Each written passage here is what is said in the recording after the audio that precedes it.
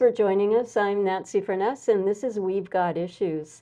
We're filming on site today at Coquitlam City Centre Library, and we thank the library for allowing us this venue to carry out the interviews. I'd also like to acknowledge that our interviews are taking place on the traditional, ancestral, and unceded lands of Coquitlam First Nation. So we thank the Coquitlam people who continue to live on these lands and to protect the lands and the waters and all that lies above and below. So joining us today is Rick Glumac, who is the BC NDP candidate for Port Moody Coquitlam. So thank you so much for joining us today, Rick. Great to be here. Thank you.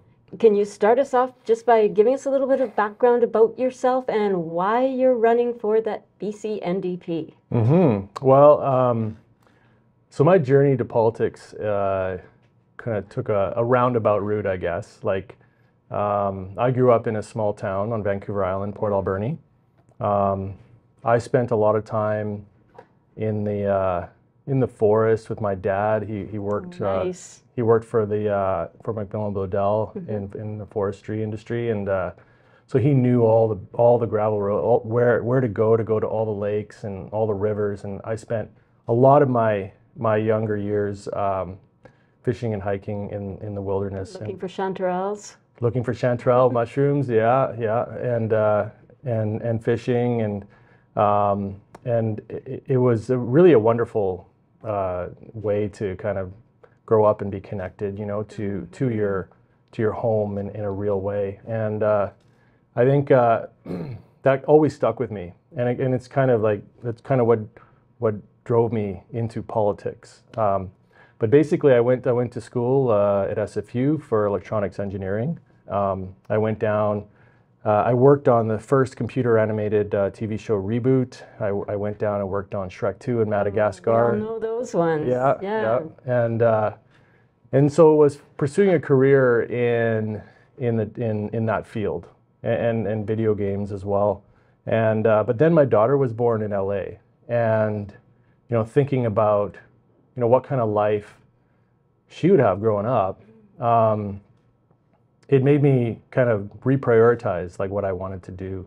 And I moved back up to Van- Vancouver at that point. I actually moved in to Port Moody at that point. Um, and and I wanted I wanted you know I wanted my kids to grow up in uh, with with a connection to nature in the way that I had it. And um, And what a wonderful place to come to. exactly, and, and Port Moody especially, right? Like it- there's so many wonderful places to go around Port Moody and still be kind of close to, uh, you know, urban an urban environment and everything. Uh, it's it's really a, kind of the best of both worlds. Um, but uh, you know, when I came back, I remember the BC Liberal government at that time um, was basically privatizing our uh, BC Hydro and and and damming up rivers for energy, but paying like exorbitant amounts of money to private companies to do this. So it was environmentally questionable in, in some of these some of these, and and then financially questionable. And it, it because of my connection that I developed when I was younger to to rivers, especially, I, I got involved in in this and really started learning about this and, and how the environmental assessment process works in BC and you know, you know, helping to organize people to be knowledgeable about this as well. And a lot of people cared about this. Like a lot of people, um, especially the Upper Pitt River, um, they they uh, they went to these environmental assessment hearings and spoke from the heart about what these rivers mean to them. There were there were like seniors, there was young people, people from all walks of life, sports fishermen, First Nations people, all coming together. And I remember being in this one environmental assessment hearing, um, uh, and and hearing so many people speak, and I spoke, and and it was just overwhelming. The next day, the government canceled that project. There was just so much backlash, and and it, and it really made me feel like you know people uh, can do a lot when they come together, and, and and people can make a difference.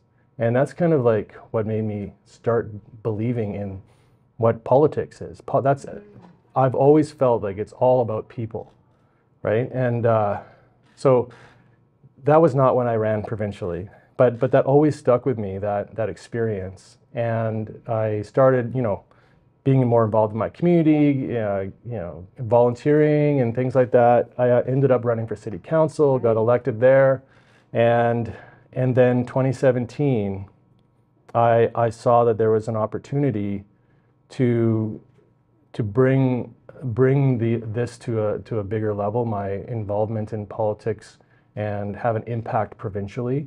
And I really felt like um, the BC NDP was a party for, for the people and really was fighting for people, like everyday people. And that's why that's why I decided to run and I got elected in 2017 and my experience uh, in the NDP has been incredible in terms of that connection. I've always had that connection uh, to to the grassroots of the community, and always I've been holding town hall meetings throughout my term as as as a as an MLA, and I, I hope we have the opportunity to continue doing what we're doing. Yeah, well, thank you for the work that you've done so far. Um, we're going to cover a bit of ground today, and um, one of the things that we're going to just start off with is talking a little bit about healthcare. Um, it's something that's, I think, on a lot of people's minds. We have basically, I think, a world class healthcare system here, but it's starting to show some really significant signs of strain. Uh, what has the NDP done about that? What have you done to recruit and retrain, retain doctors um, and also to reduce wait times? Well, uh, you know, a lot of these, it, it's not that this is happening recently, that a lot of these problems developed over 16 years of BC Liberal government and underinvestment in healthcare.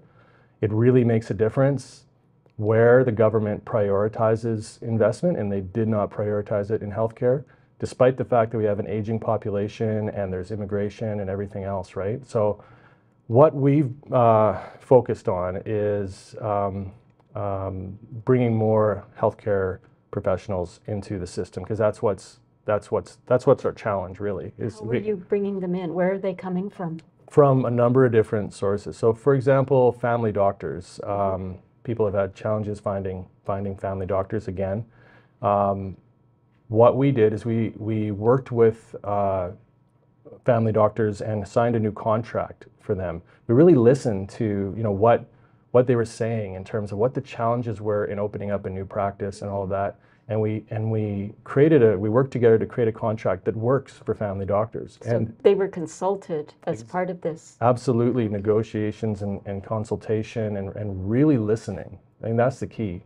And it's been incredibly successful. In the last year, we've hired over 800 um, new family doctors. In BC. yeah. Wow. And so this is just the first year of a new contract.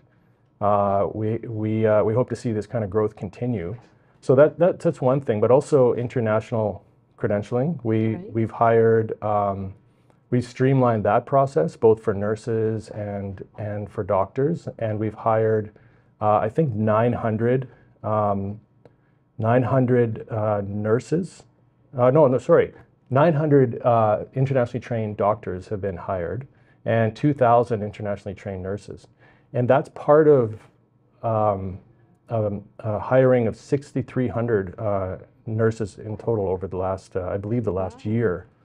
Um, so there's been a lot of hiring going on, and this is this is how we address the problem. Because it's not just doctors, it's the nurses, it's the technical staff as well. So we need more of everybody. And Yeah. it- okay, so that's good to hear some actions that have been taken. Absolutely. Um, in your own riding of Port Moody Coquitlam, what have you done to ensure that your own constituents have access to quality health care? hmm Well, um, when I first got elected, um, there was a plan by the previous government, for example, to sell off land around Eagle Ridge Hospital. Uh, the previous government uh, liked to sell off public land. It was kind of the thing that they did to try to get money, and because they weren't running things uh, financially very well, and so they, they, they resorted on selling public, basically our public publicly owned land that we all um, that we all own uh, to to try to pay for things, right? And um, but when we when we became government, uh, uh, I talked to the, the Minister of Health, and we both agreed like that that that was very short sighted.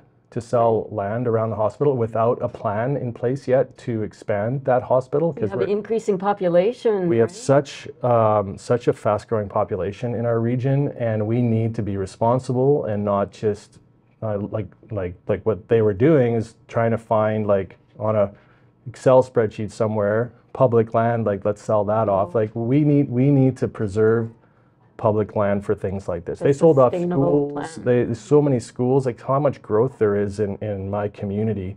They sold off schools in my community, and and and you know where I know for a fact it's it's going to be a challenge to um, you know um, find land if we need it again.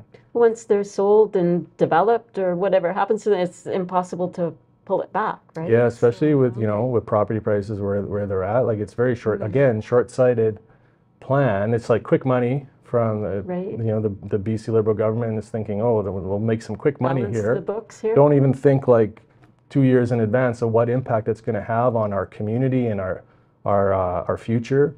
Um, so we stopped the sale of that land. Um, and we, you know, we we expanded the emergency room and at at Eagle Ridge Eagle. Ridge. Yeah, and and uh, and we need to develop a plan for uh, further expansion of that hospital. But one other thing we did in the meantime, um, uh, I managed to get uh, an urgent and primary care center in Port Moody. Uh, that took a bit of work because I, I worked with the city um, to try to find a suitable place uh, within Port Moody. Um, there weren't any existing places, but there were developments that were coming in uh, that were going to be completed that were perfect. And we found one, and that's where we have an urgent primary care center now. Yeah. And can you tell us what happens at the prime, urgent and primary care center? Like, Yeah, yeah.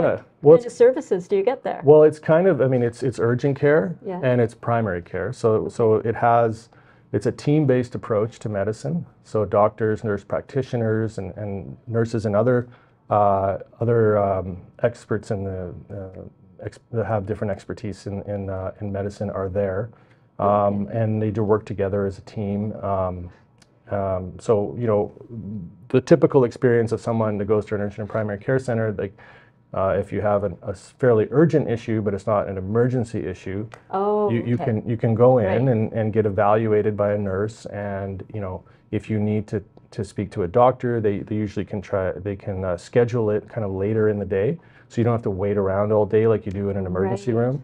Okay. Um, it's a great system. I see some advantages already. Yeah. From what you said there. yeah. Um, is there a plan to expand those sorts of facilities throughout the province? Absolutely, yeah. We have we have a plan for building urgent and primary care centers all over the province, and we've already built. Uh, uh, I don't know the exact number, but quite a few, Okay. and um, and we're working on funding. Uh, you know, uh, resourcing, staffing them uh, across the province, and that goes back to the the work that we're doing in um, in hiring new doctors and nurses. So, Okay. yeah, and we're going in the right trajectory on that. So. Okay, thanks for that. Um, can we talk about affordability a little bit? Now, we know that affordability is on everyone's mind and it's getting harder and harder to make ends meet. What has the BCNDP done um, to make you know life more affordable for all of us?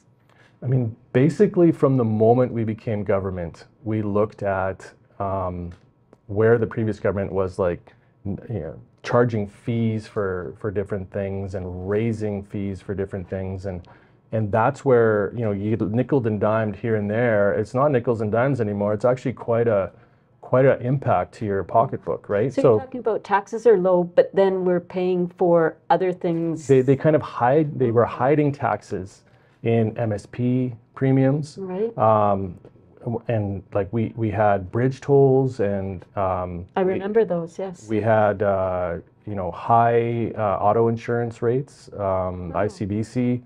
We had escalating uh, electricity uh, costs, BC Hydro.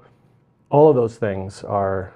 Uh, we took we took a look at all of those things, and for example, reduced uh, ICBC premiums by about five hundred dollars on average per year with the with the new um, um, restructuring of ICBC that that David Eby was uh, instrumental in in taking on. That was a, that was a big undertaking. To, to I mean, ICBC, as you remember, David call uh, referred to it as a dumpster fire because once he became you know, once he took on that file and looked at the the books, it was like it, it was not looking good. It was mismanaged. Mismanaged. we drawing out of ICBC funds and using it Exactly. things? And in BC, BC Hydro as well. This is this is again uh, financial mismanagement by the previous government. Um, and so, you know, uh, they, they were also increasing hydro rates.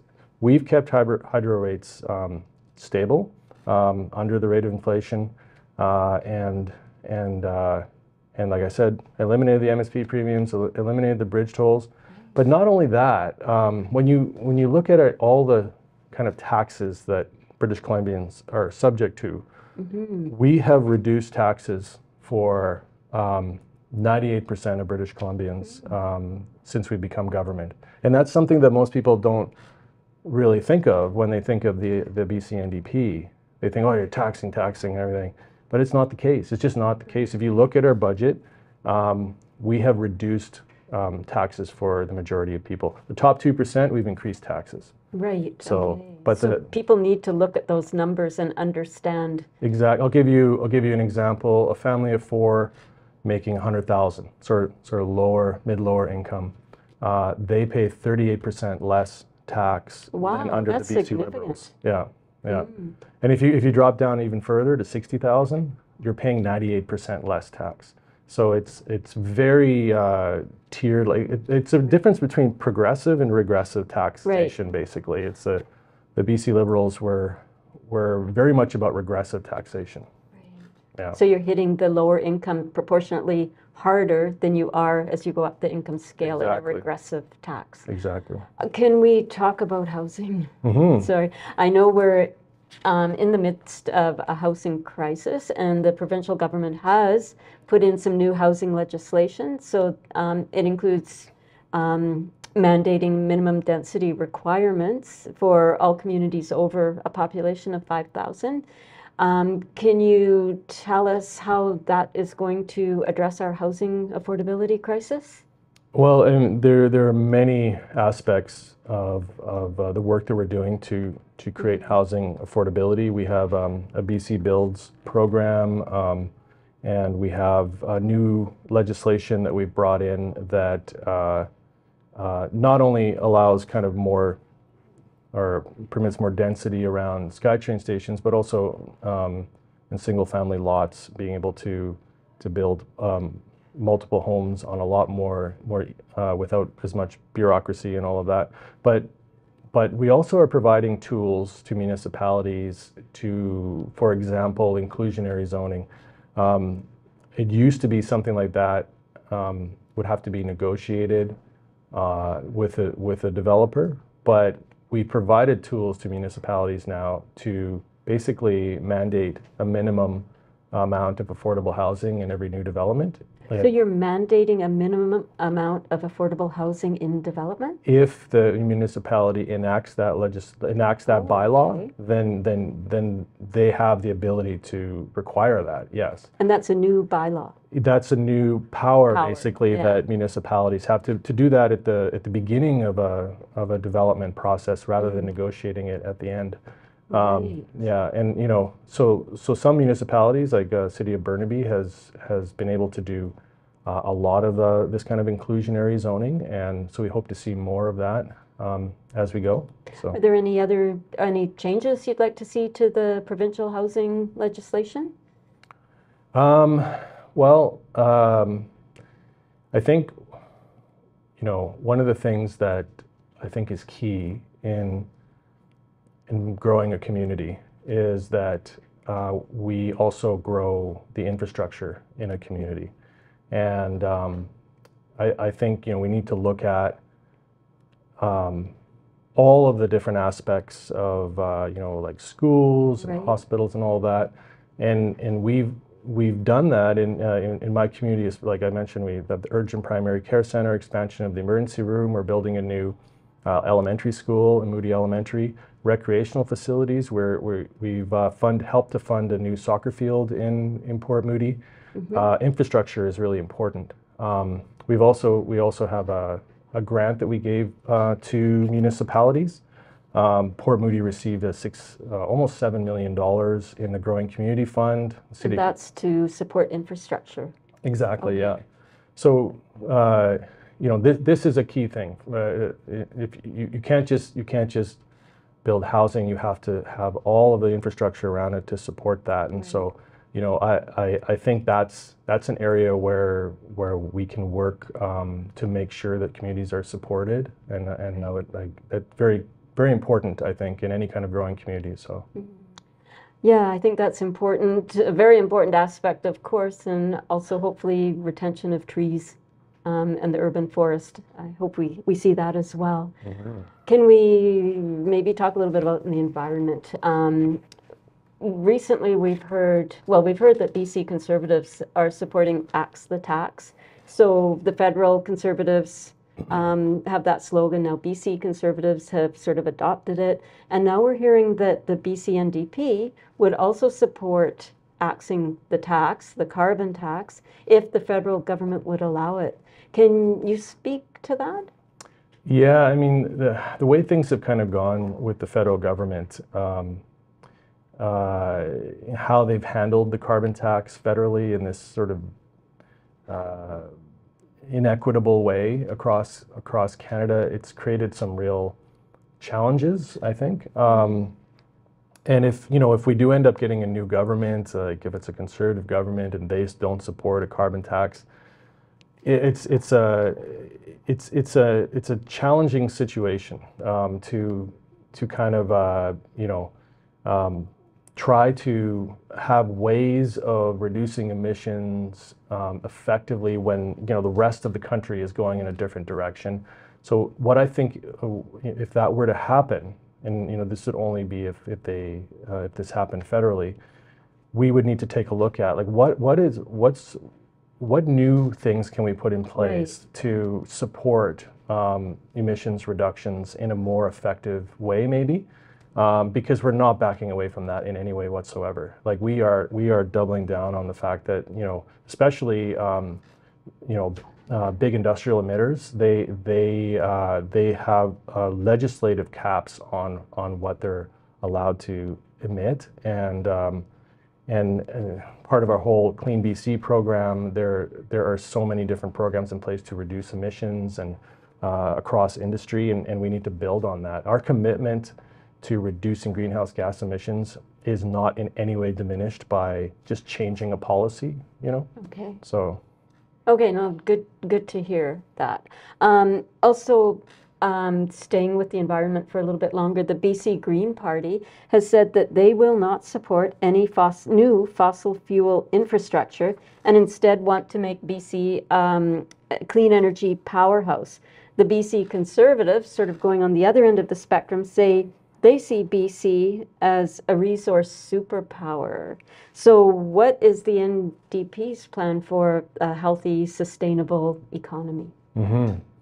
Well, I mean, it is interesting to, to hear, you know, the BC Conservative position, which is basically their, their leader does not acknowledge climate science in any way. Um, Well, he was removed from the BC Liberal Party when it was Liberals back in 2022, I think. yeah. Yeah. Yeah, because he he posted something online about questioning climate science, and he wouldn't uh, he wouldn't step away from that position. Um, he firmly questions it. He do, he doesn't believe that. I don't think he believes that CO two is responsible for for climate change. We could have a, a premier in this province that questions climate science. It's unbelievable to me. That, to me, is astonishing too. That, I mean, we have to look at the science, right? Uh, If we're not guided by scientific consensus internationally, then what is what's guiding him? Like, Who knows where we'll go? yeah, is he guided by you know podcasts or I don't know. Like, it, don't it- know. it's it's uh, it's it's it's it's to me, it's just unbelievable. And uh, and you know, not like there's so much opportunity in in being um, on the forefront of clean energy because the world is moving in whether John Rustad likes it or not we're, we're moving towards um, a clean energy So, what are some of our clean energy options or plans? Well, we have uh, $36 billion we're investing in BC Hydro. Um, 10 billion of that is toward elect- electrification. And uh, so we're preparing our, our province When you for. talk about electrification, is that like for electric vehicles or what is electrification? Yeah, and moving more towards uh, electricity as, as a source of energy rather than fossil fuels and, Okay. and making sure we have the infrastructure in place to support that. We're also doing a call for, for new um, uh, sustainable energy projects. Um, and we, I think it's like 3,000 gigawatt hours per year uh, that we're looking for by, I think we're um, by 2028.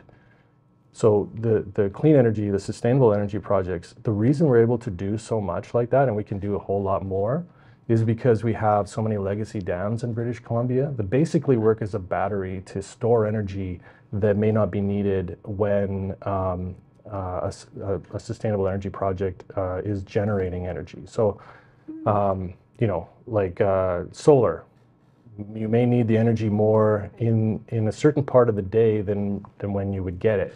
Uh, so you can you can you can store that energy um, by not release and not running the turbines in a dam, and then and then release it later when it's needed. And you, you know, so it, we have uh, incredible ability to balance. So these are dams that already exist? Yeah, Interesting. Yeah. And they're throughout the province? yeah. All over the province, we have these dams were built many decades ago.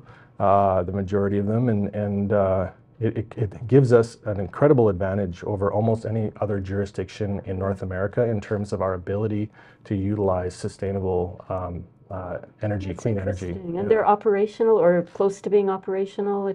I mean, you know, there's dams that are built in the 50s and 60s that are are still, you know, they're there and they're generating energy, and and there's there's some we're putting more turbines into and things like that. So, um, yeah, no, it's very exciting. They, I've been personally involved with um, uh, our our hydrogen. I Um, was going to ask you about hydrogen. What's yeah. happening with that? well, uh, there's a lot of exciting momentum behind hydrogen right now, green hydrogen. Um, for like, I, I work in this uh, role in government uh, and as a premier's liaison to the Pacific Northwest. So I, I have a lot of um, involvement in, um, you know, and understanding of what's going on in, in some of the states. That's cross-border. Yeah, so Washington State, Oregon, um, we, the, in, in the Pacific Northwest, uh, they have um, a hydrogen hub that they'd like to build uh, where they're, we're anticipating uh, a billion dollars uh, US of investment from the Inflation Reduction Act to support um, building, um, building that hydrogen hub. And, And- where would it be? It's a kind of distributed, kind of Oh, in different areas. Like it's, it's a it's a hub of of companies basically that uh, are to utilize um, hydrogen. Um, but in British Columbia, we have a company called HTEC that uh, has um, also um, been able to get funding for and quite a bit of funding for uh, hydrogen production. So we have a, a good a good fit between our two jurisdictions in terms of uh, creating green hydrogen and and and maybe um, exporting some of it and using it locally. So you can export it. Okay, so where's the funding coming from? Uh, well, there's there's investments, um, there's grants and things like that that that they they've received, and also private investment, federal. There's some federal funding. Um, but what I've been able to do through my work at the Pacific Northwest Economic Region, I was president of that organization um, for the last year, and uh, we we put a, um, a study together, uh, and it's it's funded on both sides of the border. This is the first time anything like this has ever Nice to happened. see some cross-border collaboration, Exactly. maybe some synergy happening there. Yeah. Oh, Washington State and BC have so much synergy, we do. you know, in We so many different areas. And so we, we funded this on both sides of the border, Mm-hmm. and we're looking at uh, this study, which will be completed by the end of the year, which will give recommendations to both jurisdictions on how to uh, maximize our opportunities in the hydrogen economy. So it's very exciting. And yeah. Sounds like there's some exciting things on the horizon. Um, can you just maybe give a quick summary and tell us what's at stake with this election coming up on October 19th? Well, I, I, I think there has never been a starker contrast between parties in an election in BC ever. We, we have, um, we, in BC, we used to, you know, there's center left, center right kind of, Right. you know, but we're looking at center left and very right wing policies. Like, it, you, you look at what, what the BC Conservatives are rolling out in their campaign, and it's just, they're, it's this simplistic messaging, but fiscally um, just completely irresponsible. Tax cuts and all of this that to a level that we would be sacrificing probably our, our entire um, healthcare system. Would not be able to fund it um, in the way that we need to be um, in, in the coming years. So The way that we have been as, as a party, like, like we talked about earlier, like investing in healthcare professionals. We're also building a new um, medical school in British Columbia. It's the first medical school. Simon Fraser? Yeah, uh, first medical school in Western Canada in 50 years. It's a big investment, Big investment. a investment great investment. Into our future. And, and all of this is at stake. Like uh, how governing uh, a province responsibly, caring for each other, uh, in, in as we move into the future, moving into the future together, not just looking for, you know, uh, quick slogans in an election where you could where you could like uh, talk about this this tax cut that tax cut. Tax cuts are great, and we've been doing them. We've been doing them as as a party, but they have to be done responsibly. We've had a balanced budget um, almost every year that we've been in government, and and you know we've had some challenges recently, but we're getting back on track, and we just need the time to do that. So what's at stake is, I mean, think about it. Think about if you have a government. Like first of all, there's there's only eight of them, eight MLAs in the Conservative Party that have any experience in government whatsoever, and they were all part of the. I think they were all part of the. Most of them are part of the Christy Clark government. Oh, okay. You know, Great, okay. so so what's at stake is is um, a party that has very little experience.